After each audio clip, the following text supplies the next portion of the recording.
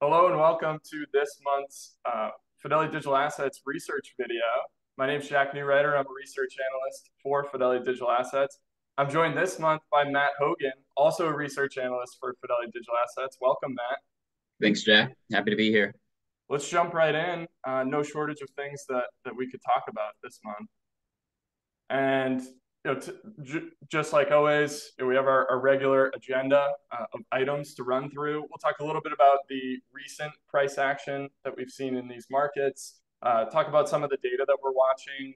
Uh, of course, the, the FOMC decision today, as we're recording, this is Wednesday, so it's the morning of that decision. We kind of have some inference from the market of what we think might happen. Uh, we'll talk a little bit about that and, and how that's impacting uh, Bitcoin and crypto markets.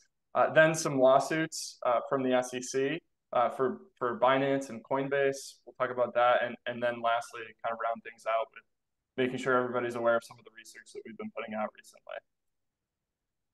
So to start, uh, you know, year to date returns for Bitcoin, for Ethereum, and, and for crypto largely, if you just looked at the year to date chart, you'd say, wow, you know, prices are up 60, 70%. This must be a, a really good year.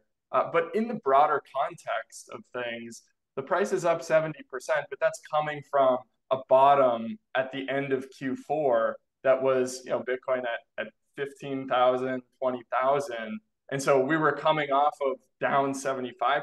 If you go back up 75% from down 75%, you're still down 50% in the grand scheme of things. And so unless you were a net new investor in January of this year, you know, you're probably sitting there saying, where are we headed right now, right? We're in the middle of a, a bear market. It's still down more than 50% from all time highs. And if we go back, you know, the, the past couple of recordings that we've been talking, the price really hasn't done all that much in the past few months. Past almost three months now, price of Bitcoin and the price of Ethereum have traded within a, a 10 to 15% price range. So very low levels of volatility. And usually those low levels of volatility you know don't last too long, uh, you, you tend to see sort of a, a spike in volatility, not necessarily a, a prediction there. Um, but moving forward, we'd expect you know maybe this range gets broken at, at some point here moving forward. And then if we zoom into to this current cycle and compare it to prior cycles, what we see is it's been kind of similar, right? We, we've seen historically you have these Bitcoin halving events the price has has typically ran up uh, six to 12 months after those halving events. And that was the case in this cycle. 2020 and 2021 were the, the bull market years. And then 2022 was the bear market drawdown. Uh, over that sort of 365 day period from, from November of 2021 until the bottom in November of 2022, you saw sort of this relentless drawdown in the price of Bitcoin and, and crypto assets more broadly. And that was the case in prior cycles, 2013 and 2017. These extreme drawdowns that last around a year, then you kind of bottom out in price and you have a year of chop and volatility. And we've sort of been talking about this all year long is, yeah, you've gotten a little bit of a rally, but that's what you saw in prior cycles. Chop and volatility is still sort of the baseline expectation if we look at prior cycles for context for another 200 plus days. Again, history doesn't always repeat. It's it's not a guarantee of anything.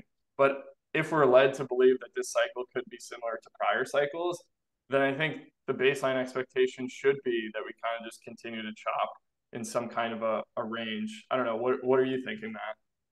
Yeah, I think it'll be really interesting to see how the ongoing Fed decisions actually affect this chopping, right? Especially today, and especially looking at some of that recent price action. I think it'll be interesting to see how their decision to potentially pause uh, or continue to raise rates throughout the year actually affects this price action going forward. But I think, as you kind of alluded to here, it is kind of interesting to look at some of those similarities between you know 2013 and 2017, uh, especially looking at those cycle tops and bottoms. And you know, we often say that that history may not repeat itself, but you know, it tends to rhyme a little bit. And so we kind of look at this this chart and some of this uh, you know sideways price action that we're seeing right now and it does look uh, very familiar to, to what we've seen in the past. So, you know, if, if that, you know, past history is, is any, uh, you know, kind of, kind of rhyming similarly or, or acting uh, as any potential kind of signal for for what the price might do in the future. We might see something similar uh, in in these days to come. I think. Yeah, no, I think that's a great point. And around the whole FOMC, like what is what does the rates market have to do with Bitcoin? I do think there's some added context there when we think of like zooming out. These prior cycles did not have as aggressive of a Federal Reserve. And therefore, I think some people are saying the macro environment is kind of different this time. And that might lead to believing that this time could be different for, for one reason or another because of a more hawkish environment uh, outside of Bitcoin in, in the broader macro environment, affecting traditional assets as well as crypto markets. So, so certainly something to continue monitoring.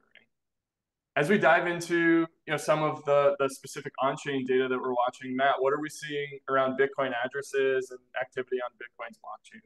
Yeah, so this this month we actually saw the 30-day uh, simple moving at, at average uh, decline slightly from the 365 day for Bitcoin new addresses. And so what this essentially is telling us is that new address counts have actually been going down uh, in relation to uh, how they've been being added and going up over the last year or so. And so, you know, that's kind of a testament to overall sentiment towards towards the network and, and towards Bitcoin currently. And, and really, it's just kind of uh, alluding to the fact that there might be a little bit of stagnated interest right now. There's a little bit of, you know, sideways action as we see in this chart, you know, throughout 2022 into 2023, especially, you know, towards the end of 2022 and into 2023, we see that that 30 day simple moving average is above that 365 day, really signaling that there was a lot of interest and there was a lot of new addresses being joined uh, to the network and a lot of new users uh, joining the network and transacting on the network.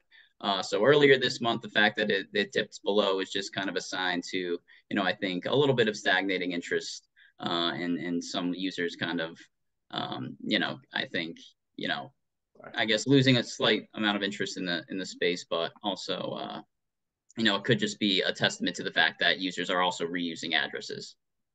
And yeah, so, so, so, we see addresses are kind of stagnating, but now what about this spike in Bitcoin transactions? Yeah, kind of so like counter to what you would expect. If right. addresses are stagnating, you'd expect that Bitcoin transactions would be falling.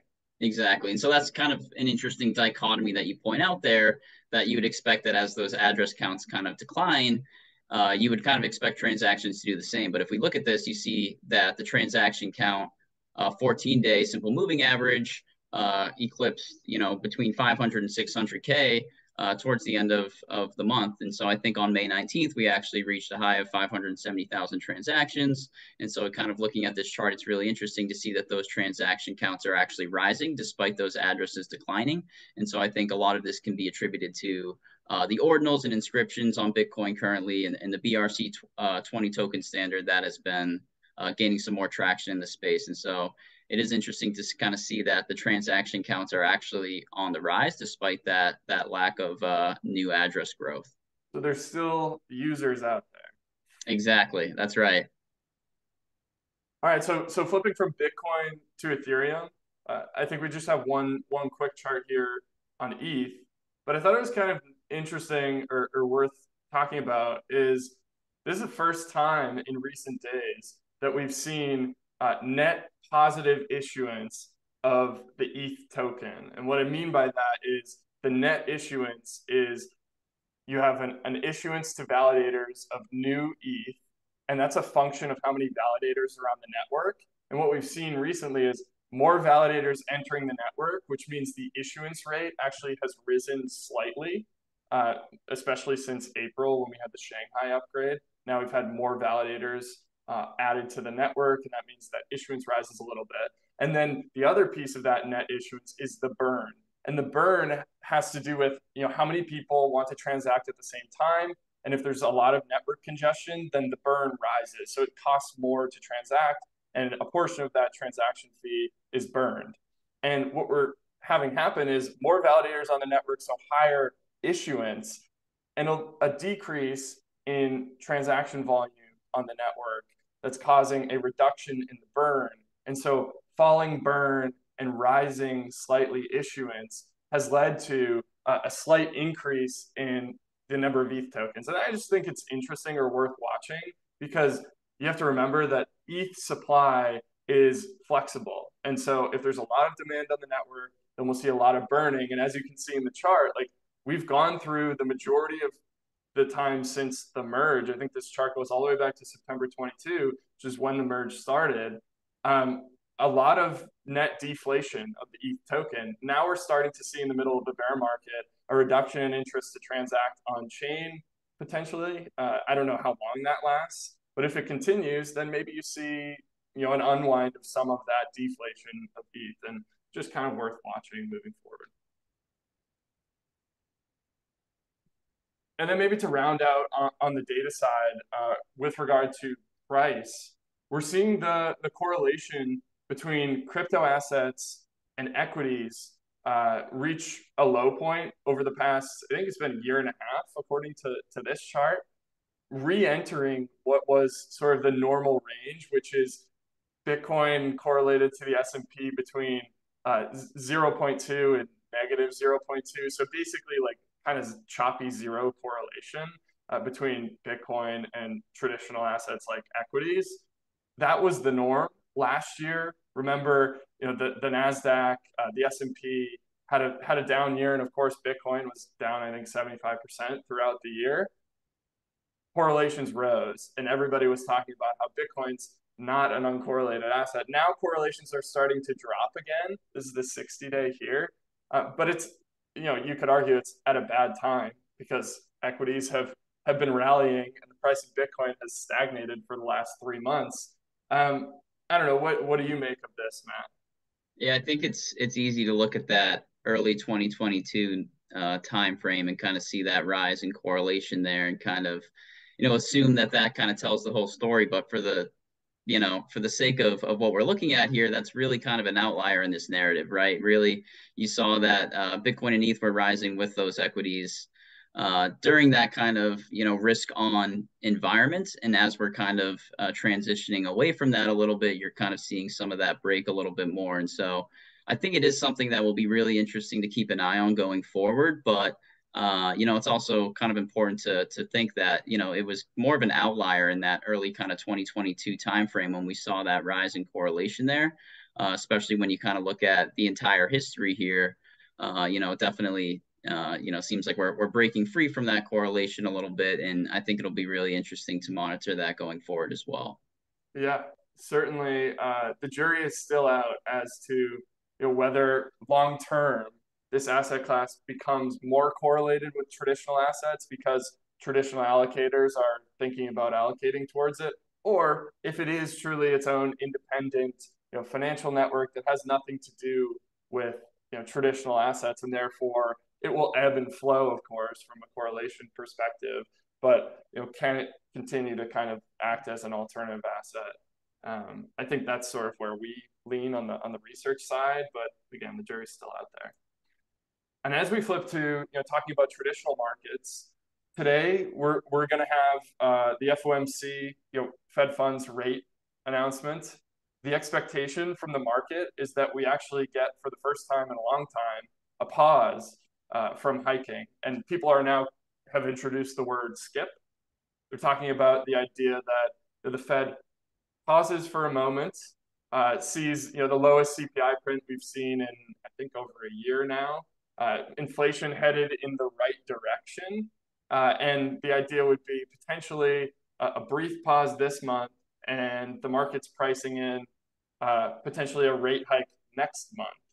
Now, I don't know if, you know, if, you know, you're going to be able to pause, thread the needle, wait, and then rise or, or hike in July. We'll get another inflation print next month.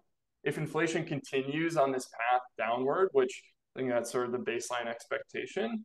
You know, who knows whether or not we see uh, another rate hike. I mean, the, the, the market's pricing of forward rate hikes has tended to, you know, to be quite volatile until we get closer, like within two weeks of that date. So, so the jury's still out there as far as how this impacts Bitcoin.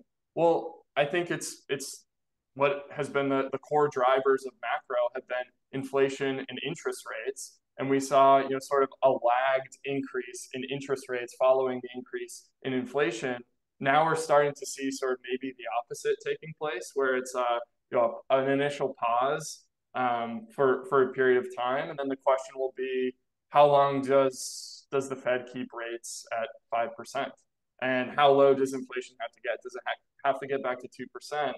Because uh, I think most that are projecting forward inflation don't see two percent until you know next year.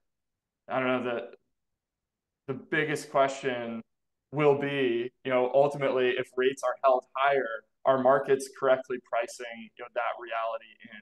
And the price of Bitcoin right now appears to be kind of, you know, if it's pricing anything from the macro side, I'd argue it's pricing higher rates, which are, you know, suppressing the price of Bitcoin.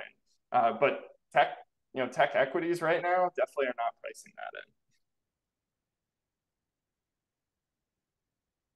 And then, uh, and then when we flip to, you know, sort of the, the last story here to round things out, and this has been sort of the, the biggest piece to what's been driving crypto over the past week, is we see the SEC, you know, sort of continuing their path of regulation via enforcement. So they had two, uh, two lawsuits last week filed, uh, one against Binance and another against uh, Coinbase. So both very different lawsuits. You know, kind of want to be clear on that um, both have elements that that cross over, you know, to to one another, making similar allegations in with respect to uh, offering what the SEC is alleging are unregistered securities. Uh, the SEC taking issue with staking programs or programs for tokens. Um, but then where the, the cases differ is that Binance is also dealing with a, a separate set of charges and allegations uh, specifically Binance US, which you know, the SEC believes they have jurisdiction over because they believe these are unregistered securities. Uh, they're alleging that that Binance US redi- redirected and potentially commingled uh, billions in customer funds to accounts that could have been controlled by CZ, uh, who is the, the CEO of Binance and, and Binance US. Uh, so, so I'd argue, you know, a, a, separate, very serious set of allegations against Binance, um, and then Coinbase, of course, dealing with what we we kind of expected would happen, which was uh, a suit from the SEC uh, because we saw the the Wells notice earlier this year, and now this is kind of where maybe we'll start to get some answers. It's going to take a while, but one of the biggest hurdles for investment into the digital asset space has been lack of regulatory clarity and we haven't gotten it from Congress.